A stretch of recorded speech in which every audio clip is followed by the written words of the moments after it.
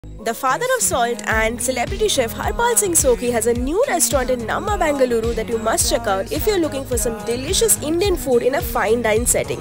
Not only the ambience, the food, drinks here are very unique and absolutely delicious.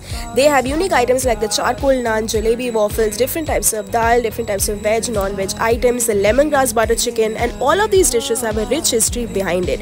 I enjoyed the meal thoroughly and highly recommend you guys to visit Karigari located inside the Phoenix Mall of Asia in Hebbal. Do visit and follow Rasoi Saga for more. Thank you.